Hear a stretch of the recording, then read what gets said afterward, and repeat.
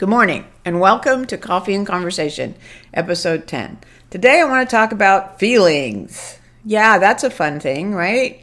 That's something we all want to talk about is feelings.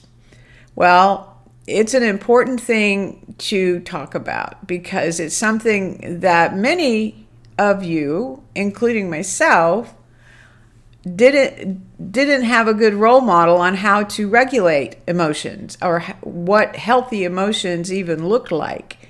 And as a result, many of us learn to squelch our emotions or to misinterpret people's uh, emotions based on the things how they looked at us, how they what they said to us because of what we experienced as a child was so unpredictable and so chaotic.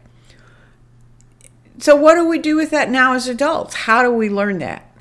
Well, you know, it's it's not an easy task, but you know, I think for me one of the things was just to allow myself in a safe environment to express an emotion and then try to identify it. And there's a lot of things out there to help you identify feelings, and this may sound very elementary to some of you, but for many of us, we don't even know what this thing is that's coming up. We don't know if it's sadness, we don't know if it's anger, we don't know if it's frustration, because nobody helped us identify this thing called feelings. And so we need help with that.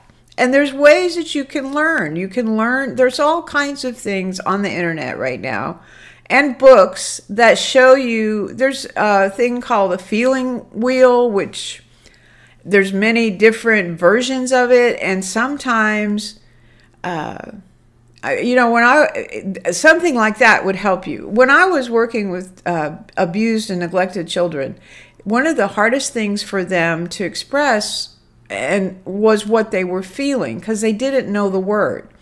So one of the tools that we used were little flashcards that had little smiley face figures on them with the mouth and the eyes doing different things. And they represented different emotions. And so, uh, one way to help children learn about feelings was to have them point to the one that matched what was going on inside of them because it did not have the words. And then I gave them the word for that. And so they learned. Uh, even though you're an adult now, you may still struggle with identifying what it is you're feeling. So it's important for you to find a way to learn how to do that because identifying what you're feeling is the first step in regulating it and learning how to mod- modify it if you have to, or to be okay with it if it's nothing to be really concerned about. So, if you don't know how to identify what you're feeling, and if even experiencing feeling is a new thing to you, which it is for many survivors because we learn to stuff our feelings, and then when they start coming up, it's like, I don't know what I'm feeling, I don't know what this is use those kinds of things. Find tools that will help you. There's flashcards, and don't feel silly that you use something that's used with children. Because remember, it was a child who did not learn how to express emotion.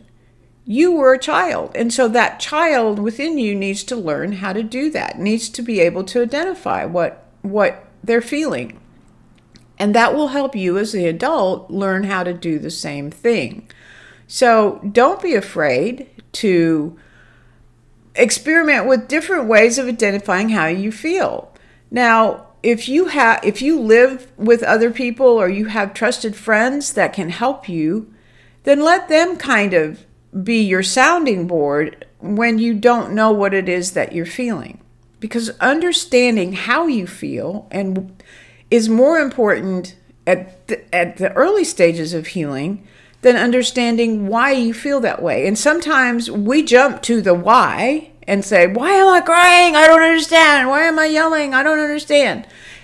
That comes later. The first thing is to understand what the feeling is, because by identifying it and defining it, then you can begin to figure out the why. So, hopefully, this is helpful to you. Please subscribe, please comment And I will talk to you again soon. Bye now.